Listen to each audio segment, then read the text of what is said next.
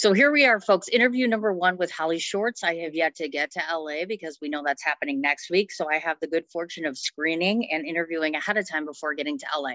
My very first interview will probably be one of my favorites. I can tell already because she's very bright and she is very accomplished and she's very young and she knows what she's doing. This lovely young lady's name is Elizabeth Acevedo. She has a beautiful piece by the name of Mirage that is playing today, as a matter of fact, at Holly Shorts, 5 p.m. Pacific time today. Thank you, Elizabeth, for doing this. Right out of the gate, I want to ask the very first question because you're in Paris right now. So, obviously, of course, we all live in a day and age where we've all lived the last trauma for the last two years and clearly things are now opening back up et cetera and all that good stuff but you're in another country right now. So talk to me a bit about how things are there and more importantly why did you choose to have your thesis project done in paris? Well paris right now i actually haven't experienced many covid restrictions if any at all. Okay. I just produced a short film for school, which is sort of my thesis. And for that, we just had to work with actors that all had to prove they were vaccinated. If you're curious about what the landscape is here with vaccinations. But for the most part, it feels like everything is pretty much back to normal. And this is actually my last semester at NYU at all. And I had to sacrifice my year abroad that I had been planning on doing because of COVID. And so I, I was so, so lucky to be able to fit in this one month overseas. And NYU has this program based in Paris where you make one experimental film in the course of four weeks. And it just felt like a dream to be able to do that. I feel really lucky. We wrapped just about 48 hours ago. So, so I'm fresh from the shoot. That's exciting. Oh my gosh. Do I dare ask you to give us just a hint about what the movie centers around? Can you say anything at all? Sure. I'll say that I saw these two people saying quite a teary eyed goodbye on a park bench. And then I saw an older woman watching them. And then when the couple had left, she went to sit down on that bench and it looked like she said a little prayer. And so I started to imagine these three characters this woman who was reminiscing about her youth and wanting love, and this couple saying goodbye, and the whole film came out of that. And we're about to start editing it. How exciting is that? Now, you mm-hmm. mentioned NYU, and I know you go to NYU Tisch School of the Arts with a bachelor's in film, TV, and creative writing. So, talk to me a bit about that. A lot of the people that I've interviewed, ironically, including my partner, went to Fordham University. So, I'm curious as to the choice for NYU Tisch. And more importantly, tell me one little tidbit that you would advise individuals who are looking at getting into film. Would you recommend, because some filmmakers are of the belief that set life is all that there is, meaning you can jump from here to here without having a formal education. So, where do you stand on that? The film school or no film school, big question. I can get into that. So, for me, I started at Johns Hopkins University, which couldn't be more different than NYU. Johns Hopkins is mostly medicine. And at first, I thought I might want to go into neuroscience, but I was also majoring in creative writing over there. So I just knew that I was interested in the brain, and storytelling. And I didn't know how that would fit in yet, but I early I did ED. So by the time I got to Johns Hopkins, I already knew my life has to be about film. This is what I'm in love with. So the second I landed over there, I was already applying out and being born and raised New Yorker and loving that city, loving the hustle over there, I wanted to make movies in the independent industry. And so NYU is kind of the top place to go for that. So that's why I chose NYU. And I ended up having to go into quarantine. It felt like the second I got to NYU. Oh. I was just one semester. So it feels like I spent two years behind my computer screen at film school. So I don't have the classic experience with it, but I don't regret that at all. I think for me, it actually worked out really well because being over Zoom, it allowed me to actually make Mirage. I don't think I would have been able to make that film if I wasn't over Zoom because I had this flexibility that I wouldn't have had otherwise. And I was just sure. so, I was so hungry to make something because we were all just on our couches that that's what I did in quarantine. And you asked about whether or not film school is a good idea. And I think for me, it was both a con and a pro. so far I've made films with school and I've made films a film on my own. And I definitely prefer making a film on my own because there aren't any restrictions and you can you can go big you can go small you can design your own timeline. Uh, films with school there there's another layer of bureaucracy that you have to deal with that sort of doesn't exist the same way in the actual industry. I i would say though that just having this safe space to make mistakes and not feel like you're tarnishing your reputation in the industry is the big pro of going to film school is just having that bubble to try things out and fail and try again is the value of it. And also i mean i've i've met the most amazing people at NYU who i think i'll probably be making films with maybe for the rest of my life. So that's oh. another big pro that's very, very cool, actually. I did notice in your background that you've also attended the University of Oxford. Now, was that under the same vein in terms of more the science or, or brain side of things, or that was a short term thing? Yes. Yes, that was a summer program. Excuse me. Oh, Gosh. That was a summer program, and I was actually studying screenwriting while I was there. Okay, gotcha. Got it. So these are some very heavy duty skills and, and very heavy duty schools that you're going to, of course. But there's also the school of real life, of course. And now you've been on the set and you're a little bit younger. One thing that I like to ask younger filmmakers is Is there something that you have been taught or told by, let's say, a senior filmmaker or somebody far more versed that you've started to incorporate into your own creations? I would say one habit that I've gotten into, and I really can't remember who told me to do this, but I now have to do it is the second you wrap a set to spend the next day while everything's fresh, just journaling all the things that you regret or mistakes that happen. Oh, wow. So that you then treat those little mistakes and mishaps that were bound to happen, they always do, as lessons rather than things to get you bogged down. And so next time you're on set, you just you have all these extra bits of information and little lessons learned.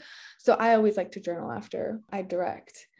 I reached out to Emma Seligman, who is sort of a star child of NYU right now. She just hmm. directed mm. Shiva Baby and it's doing so well. Yeah.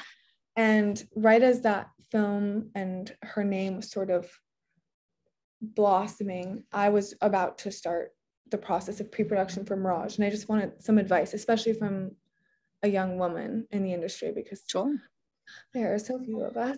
Um, and she said to me, just be ready to, to sacrifice everything for your film. And if you're ready to do that, then go for it. And hearing that at first, I thought that seemed a little bit dramatic. And then I realized that if you're ready to make this film your life, then you should go for it. I say it's a wonderful addition to your life because it feels like you're almost in a relationship with this very special imaginary thing for a while, but it definitely does overtake things. Uh, I I'm happy to do that, but then also it comes down to making sure that you have a really good relationship with your producers or whoever you're working with because you really need that team and the team needs to be happy and motivated and inspired for a really long time throughout really difficult situations. So if you can foster good energy among people, I would say that's actually probably the most important thing about making films. Good advice. Very, very good advice. As a matter of fact, I know that you have done photography with National Geographic before, which is quite impressive in and of itself. We all know who National Geographic is. So, talk to me a bit about what you see in a photograph versus what you see in a film. I would say the goal, I think, is to make film scenes that are as powerful as good photographs because photographs they're just a single instant that if, especially if there are people in the photograph those moments of single seconds are supposed to encapsulate a whole story or a whole feeling or a mood in or a whole relationship in just a split second.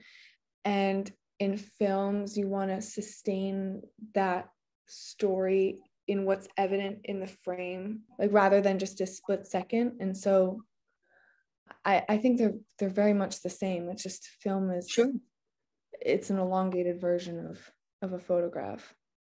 There are some filmmakers that actually have said before, or I've heard them say actually, that it's best that if you don't have a background in photography, you're going to struggle a little bit more as a filmmaker. Would you concur with that?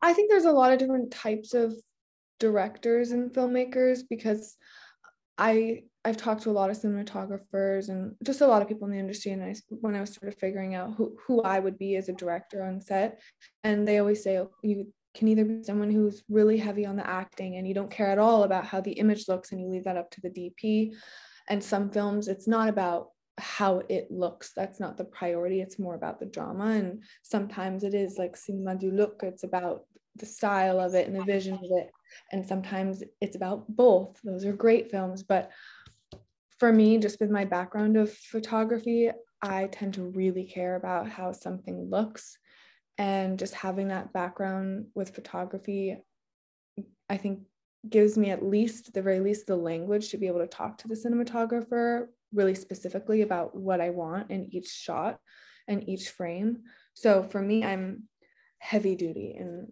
in camera prep and I hmm. storyboard. Every second of every film. Storyboarding, that's an interesting concept actually, because half the filmmakers that I have interviewed have never done a storyboard ever. Then the others are like yourself, where they're pretty insistent upon that sort of thing. Um, mm-hmm. would you say it's fair, in your opinion, the more you storyboard, the easier it is to film?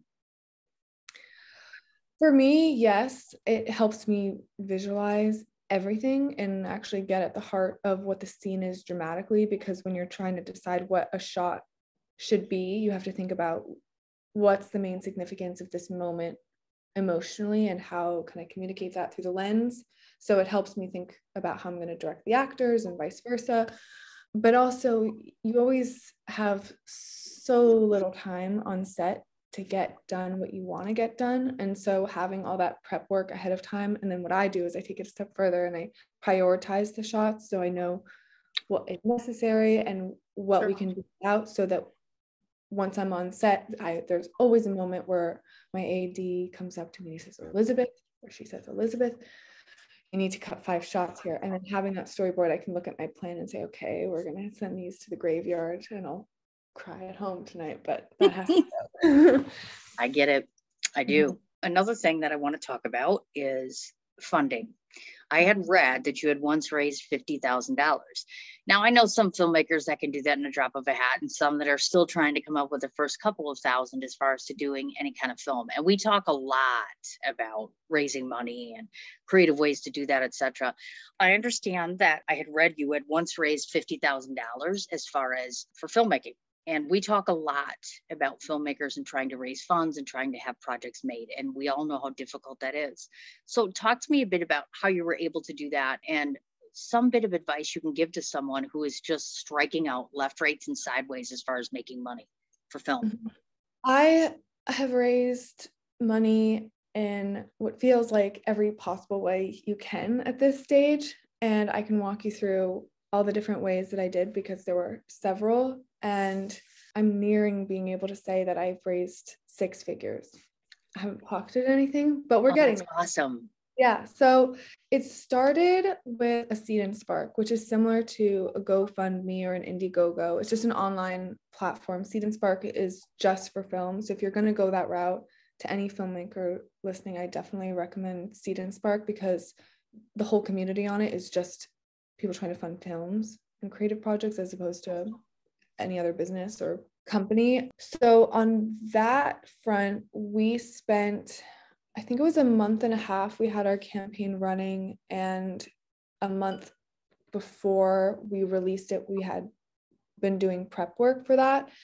And on Seed and Spark, we raised, I think it was about $21,000. And it's not like you just hit a button and it's out in the world and the money comes in. You have to email tenfold, 20 fold, maybe 40 fold people that actually end up donating. So you have to be prepared to reach out to your high school professors and your mom's mm. friends, friends, friends, and someone you bumped on the street corner once. So you're you're emailing everyone and you you want to make those emails personal. And for that, I would say the more the more you can have your project fully visualized, the better.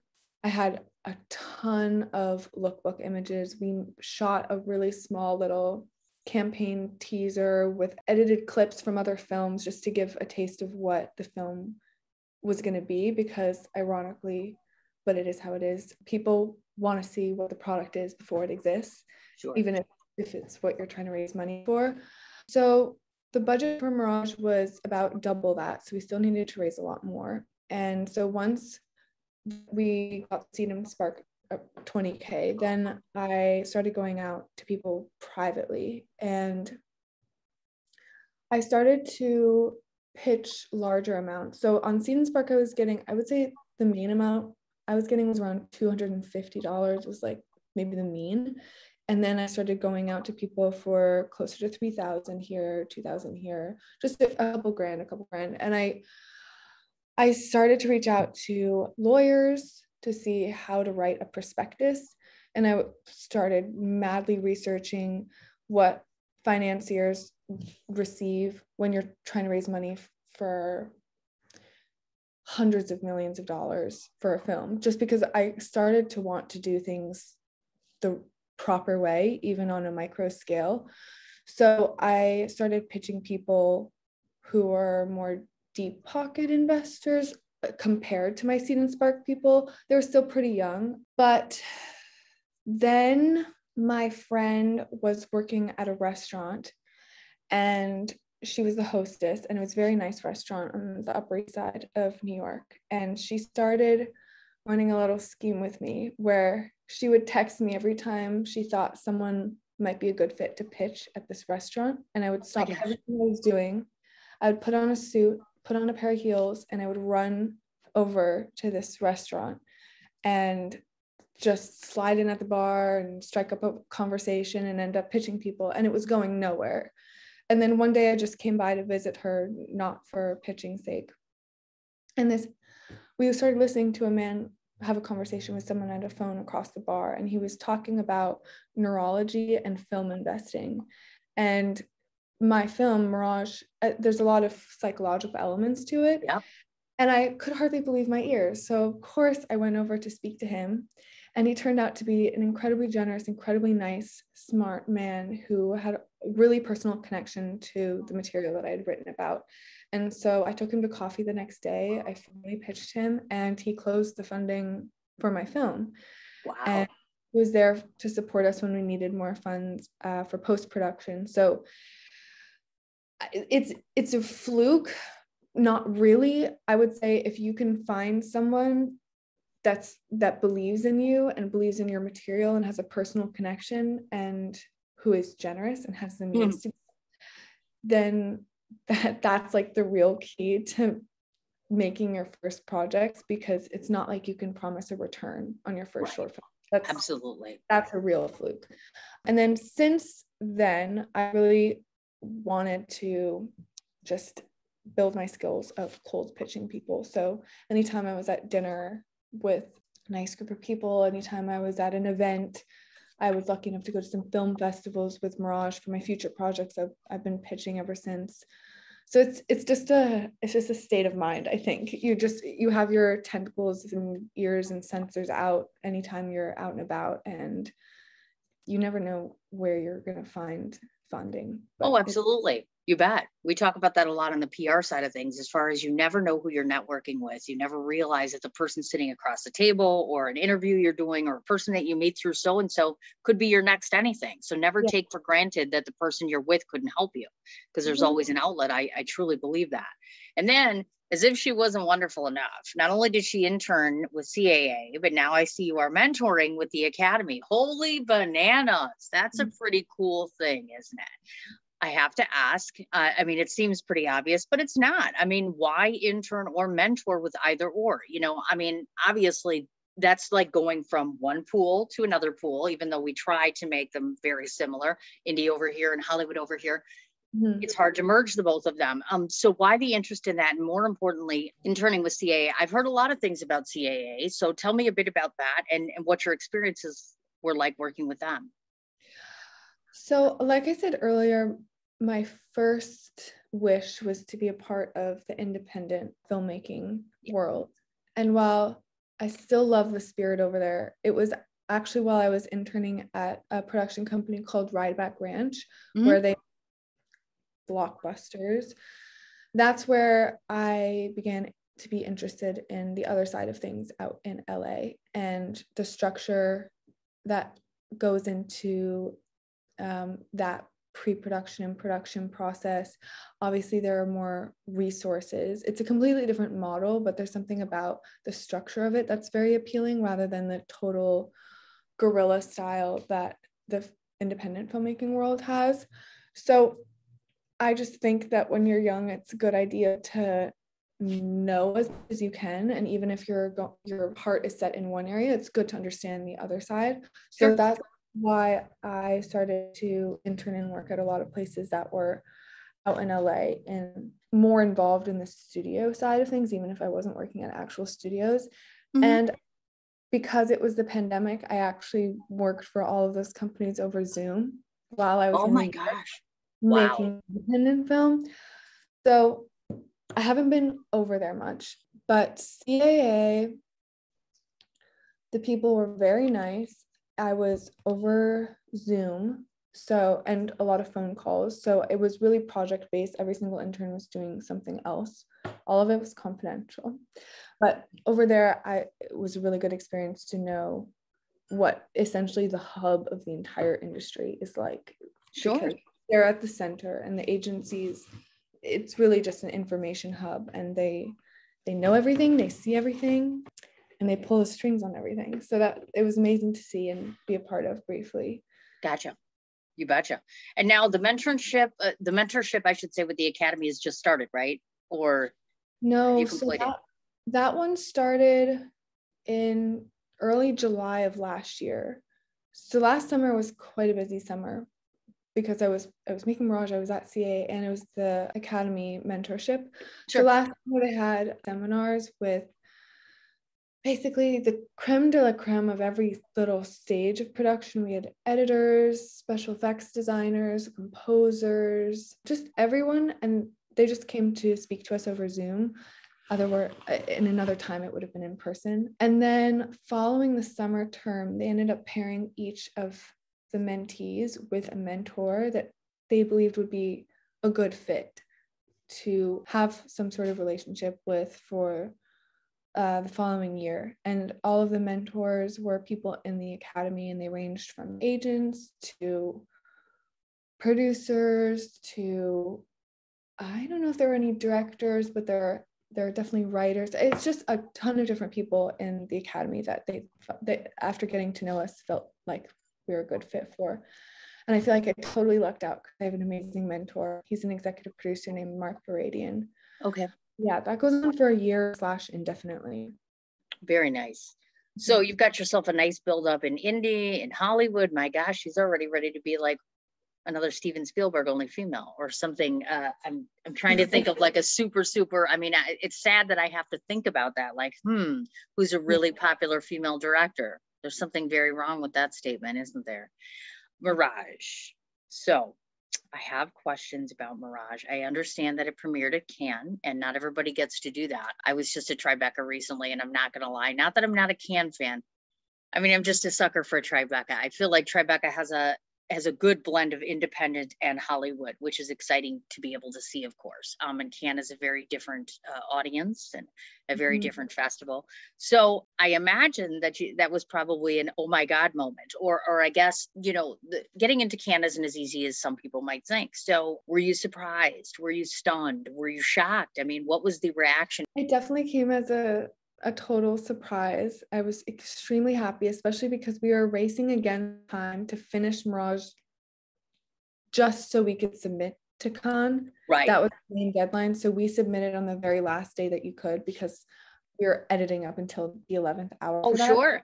So it meant the world to be able to go. And I remember when I was pivoting my entire life for film and I was leaving Johns Hopkins, I actually saved up to go to Cannes by myself. I didn't have a film there. I hadn't made anything yet, but it was sort of like a a visualization moment to just be a part of the world for a moment and feel okay, is this is this what I want? Is this where I belong? Could I and just visualizing my future there.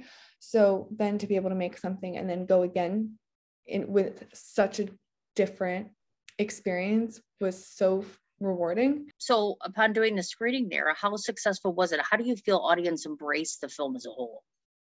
So the screening over in Cannes is a little different because it when you're there in the short film corner, you're a small fish in a big pond. So to answer your question, that's definitely why I'm really excited about hopefully the opportunity to be premiering at other festivals too, because Cannes being the top of the top, you have you have Top Gun premiering at the same time. And so that's sure that the audiences are gravitating towards. But for me, I was able to meet incredible independent producers that just through spending um, time with them at events and them sort of taking me under their wing for 10 days and just talking at me and telling me everything they knew about the industry it was like a master class and i feel like i've met producers over at Cannes that i'm gonna be working with. Um, fingers.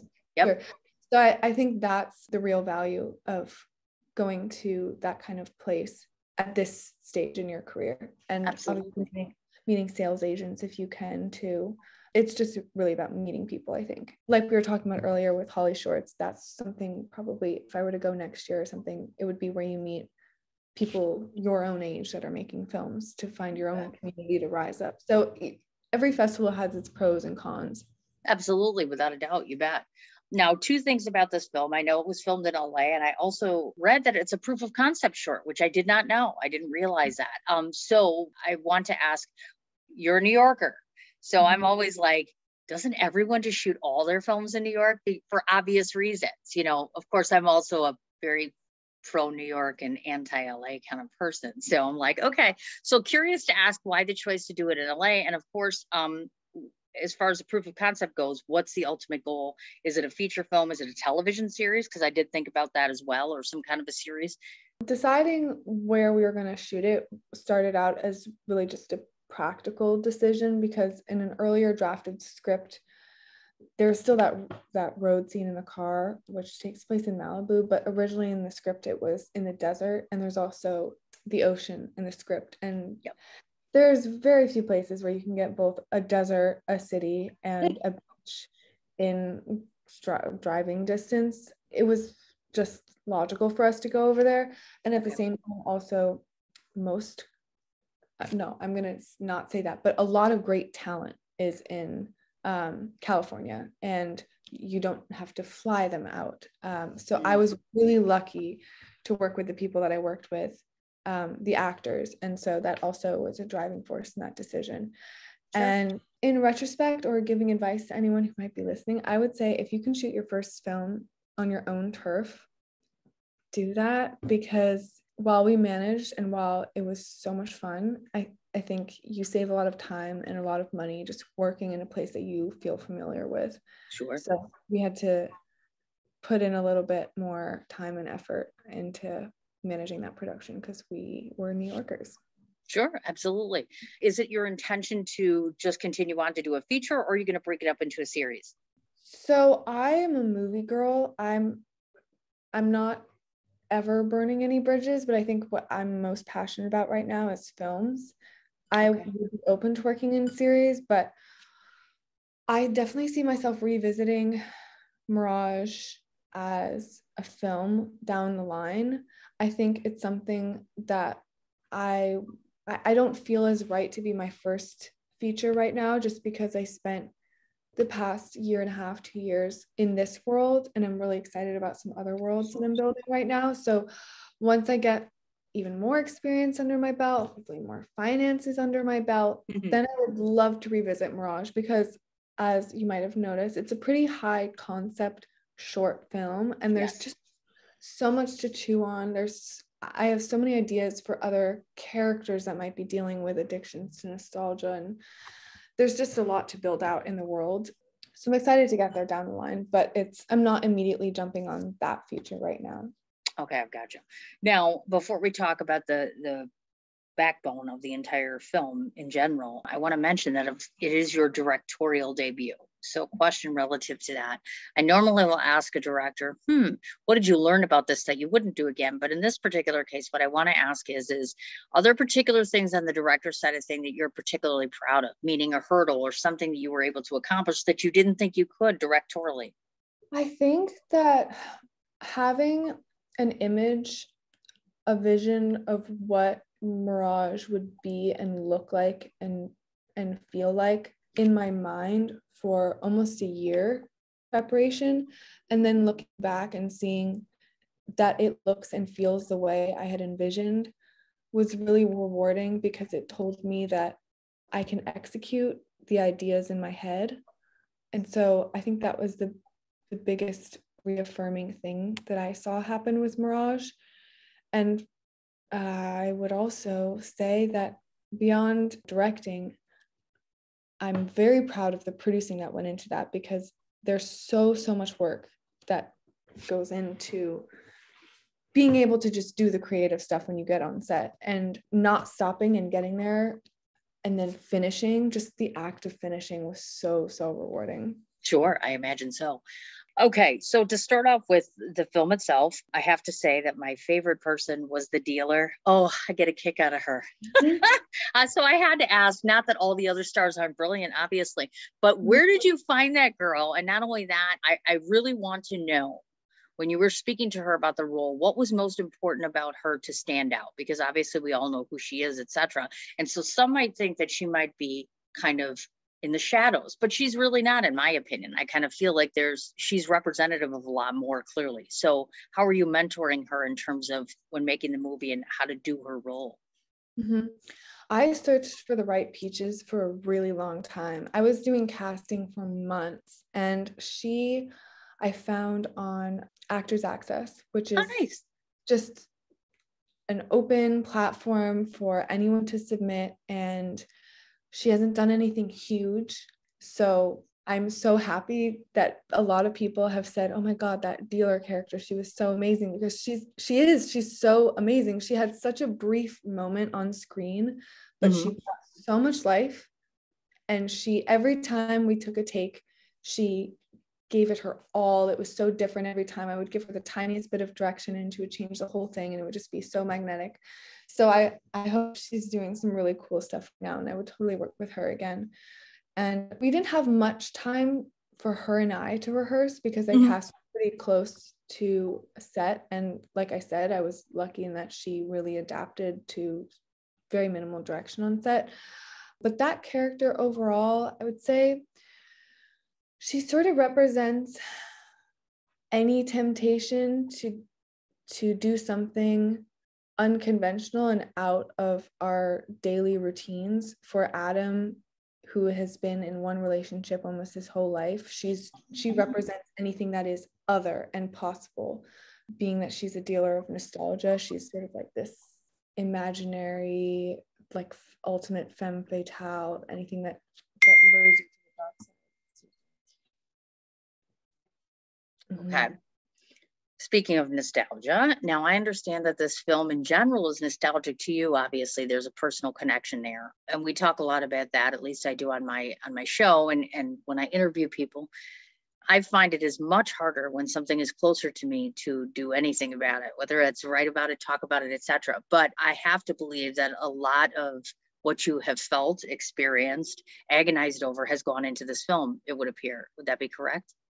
Yes, I would say if you were able to, I've spoken a lot, I think, online about where the inspiration for this film has come from, but what it just made it so much more of a meaningful and powerful experience for me because it turned so many different aspects of my real life into this one artistic product.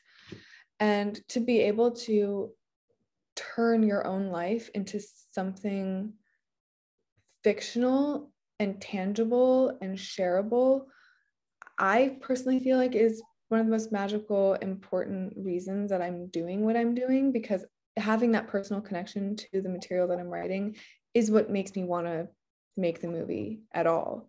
And a lot of the things that went into this film, just the meanings behind what was in the story for me personally, I think maybe might have been difficult to share, or maybe the people that were involved, it was difficult to see. But I think just being able to make art out of anything difficult is is one of the most important things about it. That's so rambly, but it's I mean it's nope. so me. no, I get it. I totally understand that. I do. I want to say before we talk about the themes behind this, the two actors.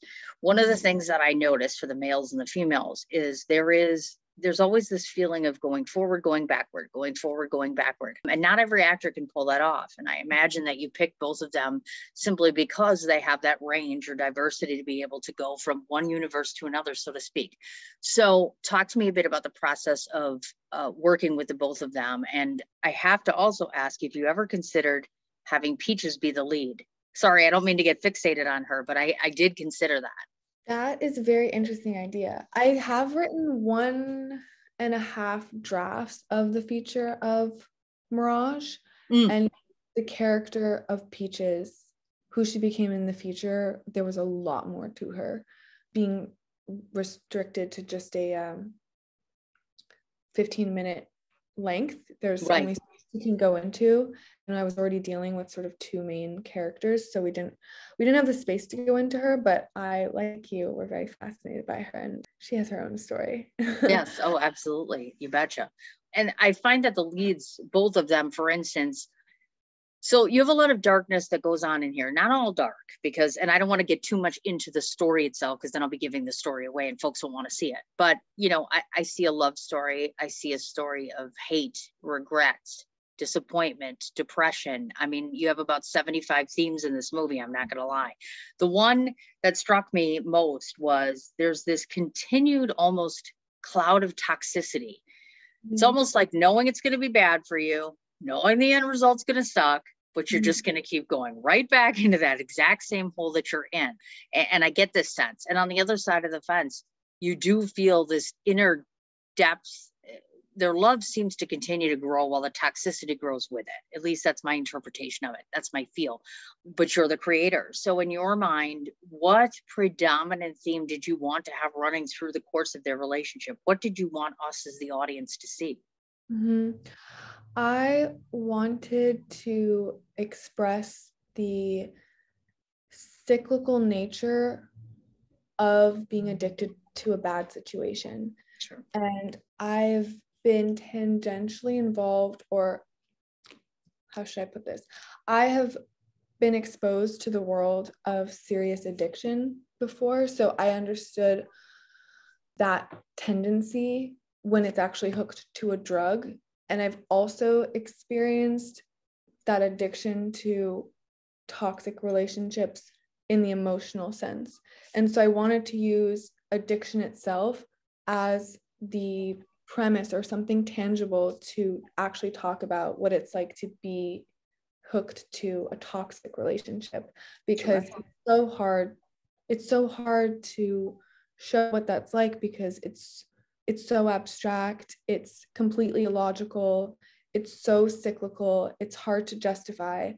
If you put something to it like this imaginary drug the same way that addicts are addicted to a drug it starts to make sense the way people can be addicted to their own relationships with people and especially to the past. And for me i mean i was at a stage where i was i was exiting my teenage years and entering i guess the beginning of adulthood and just generally feeling a little bit nostalgic for that free spirited youth. Um, so i had a little bit of nostalgia going in me. I'm not not in a huge way, but my father at the same time is he's much older and he's an extremely nostalgic person who I would say is completely addicted to my mother, um, even though they have been apart for many years. So I was just looking for a way to talk about this addiction to the past. And I, I felt like doing that through a physical drug was,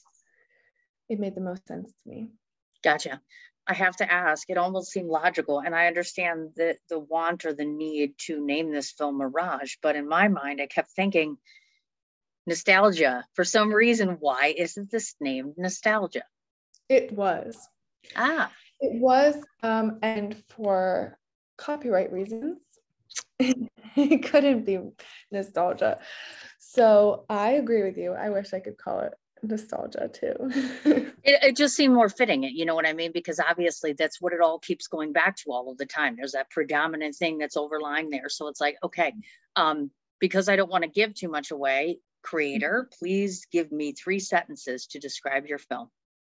Mirage follows a couple that has been together too long and they're now addicted to their own past, hooked to a drug called nostalgia that induces memories. And what they don't know is that they're each having affairs with other people. So when they find out they're having affairs with other people, they decide to get clean from their dirty past and try to make a future together. But they take things too far and you're gonna have to watch to see what you happens. bet one would almost say that it really is a dark drama in a lot of ways you know there there is some light that's in there etc but it like i said the overtones are very dark they're very dismal they're very detrimental to both of them and and there is a lot of trauma really. I mean i do i see two people that are traumatized literally over and over and over again. In some ways when i watched that i said to myself my gosh it's as if you made a movie about grief and you just didn't realize it because that's pretty much what grief is. When we lose our loved ones you just relive it over and over and over in different ways each day but that's kind of the same way as far as that goes. Um, would it be fair to say that you could have done the same film with a father and a daughter? Because that occurred to me too. Yeah i think there are so many different archetypes that where nostalgia is really prevalent in those relationships. I my like i said my father almost made his, his way into being a character himself. And that's something i'm definitely interested in exploring in the future. So yeah that's definitely fair to say. Very nice. Absolutely. So as far as as of today any wins or nominations yet? Because i don't think i could find that. I did look but i don't think i've seen any.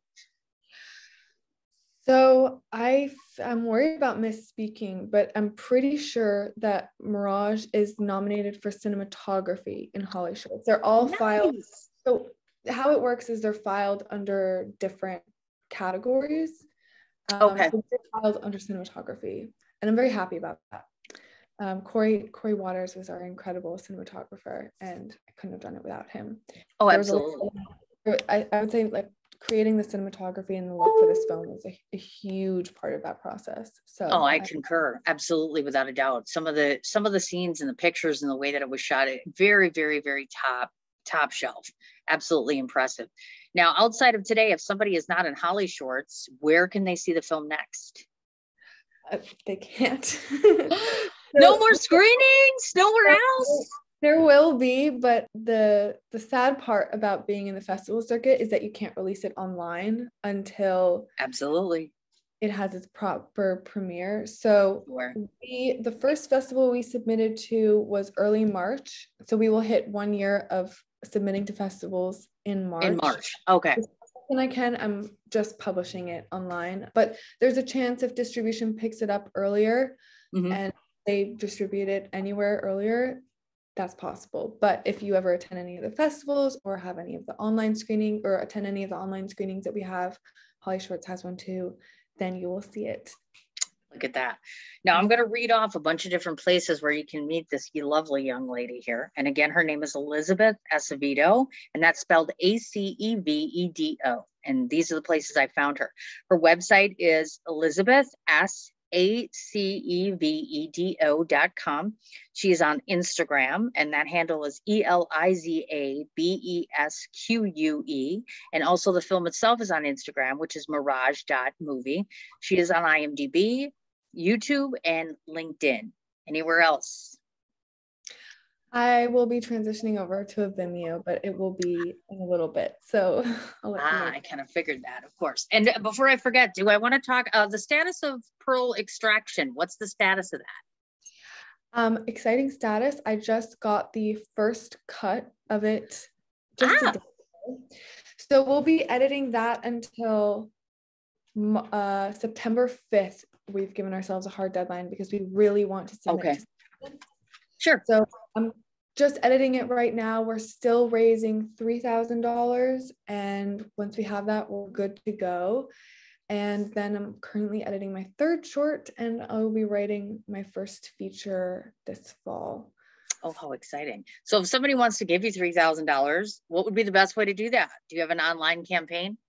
We don't have an online campaign running. I might be releasing one soon, but on my website, you can find my email, my phone number, everything. And so we can talk directly about that. And we'd also have a an open Venmo right now at Pearl Extraction. Oh, nice. Mm-hmm. Very cool. Anything else? Elizabeth, thank you so much for the time that you gave me. This has been absolutely wonderful. And it's very encouraging and inspiring to see a younger generation do so well. I mean, just not only in the circuit, but write well, direct well, have a good sense of making good films. It's very impressive. You should be very proud of yourself. It's very sweet of you. Thank you.